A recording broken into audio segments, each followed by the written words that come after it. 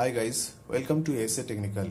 In this video, I'll be showing you how to limit TDP for CPU in BIOS. Here are some reasons why you might want to limit the TDP.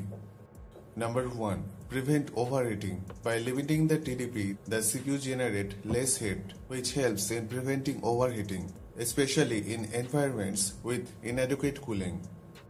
Number 2. Improved stability. Lower temperatures can lead to more stable system as components are less likely to overheat and throttle or fail. Number 3. Energy efficiency.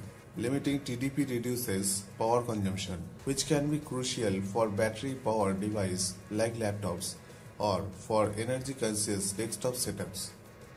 Number 4. Extended hardware life. Operating components at lower temperatures can prolong their lifespan, reducing wear and tear on the CPU and other system components. Number 5. Avoid throttling. By limiting the TDP, the CPU may operate more consistently within its thermal limits, avoiding performance drops due to thermal throttling. And number 6. Cost savings. Lower power consumption translates to reduced electricity costs, beneficial for both individual users and enterprise running multiple systems. However, if you decide to limit the TDP for your CPU, then this video will definitely help to set the thermal design power limit through the BIOS settings. Here, I'll be guiding you by using my Predator Helios Neo 16 for Intel processor. If you have Intel processor based different brand laptop, then you can use this method. Don't worry, the steps may be the same for Intel processor based laptop. So, let's get started. At first, you will need to enter your PC's advanced BIOS setup. You might need to use a key combination to unlock it. Note, the steps may vary depending on your laptop manufacturer. For Acer laptops, first shut down your laptop completely.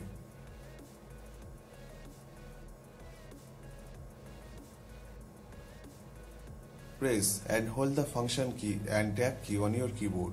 While holding this key, press the power button to turn on your laptop. As soon as the laptop power on, release the function and tab key and immediately begin by pressing the BIOS access key. For Acer laptops, it's often F2 key. Check your manufacturer manuals for more details.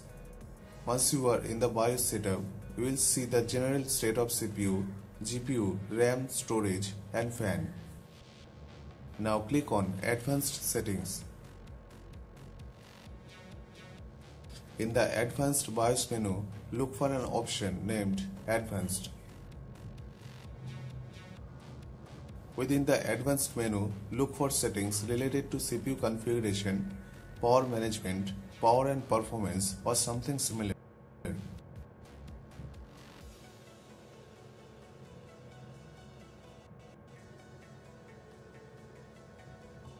Within the Power and Performance menu, look for settings something like CPU settings or CPU power management control. Here, you might find the option to adjust TDP. Look for an option related to TDP configuration, TPL configuration or something similar. Note, these settings could be listed as PL1, I mean power limit 1 and power limit 2, which control the long-term and short-term power limits respectively. Here's my default current turbo settings. As you can see, my power limit 1 is set as 100 watt which duration is long term and my power limit 2 is set as 157 watt which duration is set for short term. For the i9-3900HX, PL1 is typically around 55 to 75 for sustained performance in most laptop configuration but in this laptop I think PL1 at 100 watts this is actually higher than typically for PL1 settings in laptop as it significantly exceeds the usual TDP. Although these settings might be used in high performance laptop but according to its cooling solutions I think it's much more. And PL2 is often around 125 watts to 157 watt for this i9-13900HX processor which allowing the higher burst performance. I think this is within expected range for short-term power limits, which is allowing the CPU to utilize its maximum boost capacities. However, now I'll be select the config TDP configuration settings to modify the TDP limit. Now change the value to your desired limit according to your CPU's PL1 limit. Note, this is the sustained power limit often corresponding to CPU's TDP and is intended for long-term continuous workload. But be cautious not to set too low as it could significantly impact your system's performance. Here I'll be set a little lower than typical value. So I'll be set PL1 at 35 watt and click yes to confirm.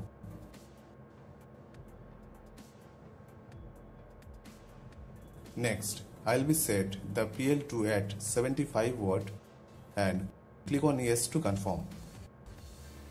Next, I'll be set the power limit one time window which is also known as tau value determines how long the CPU can sustain power consumption at PL1 level before to throttle down to avoid overheating or overconsumption.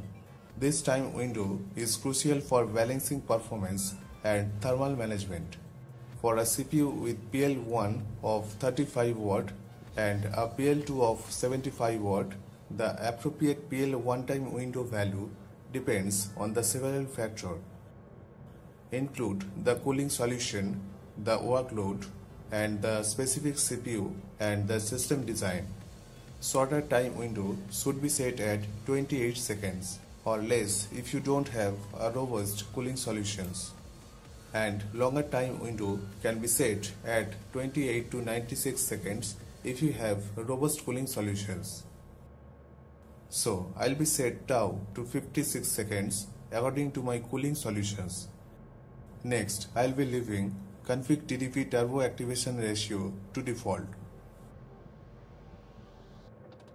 Now save the changes by pressing F10 key on the keyboard and confirming the save by click on yes.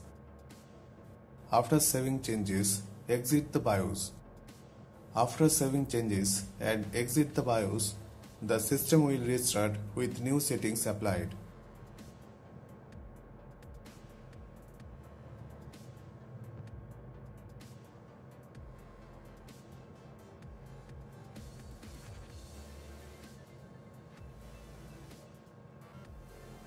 If your BIOS does not provide an option to limit TDP, you can use software tool such as Intel Extreme Tuning Utility for Intel-based processors.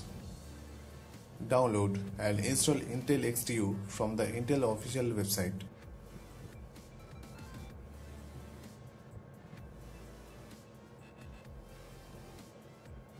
After installing, open Intel XTU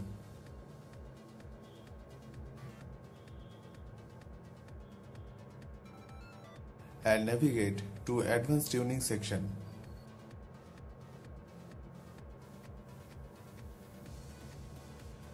Now you can adjust the Turbo Boost Power Max and Turbo Boost Short Power Max values to limit TDP.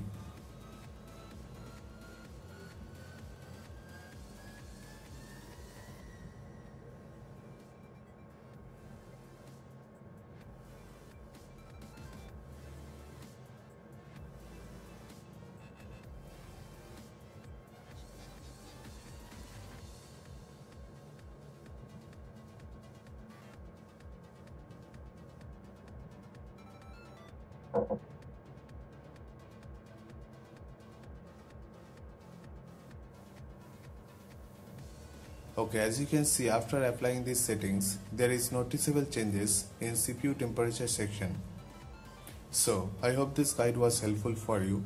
If you have any question or any advanced guide, then please let us know.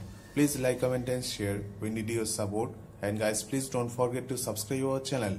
Thank you. Thanks for watching. Have a nice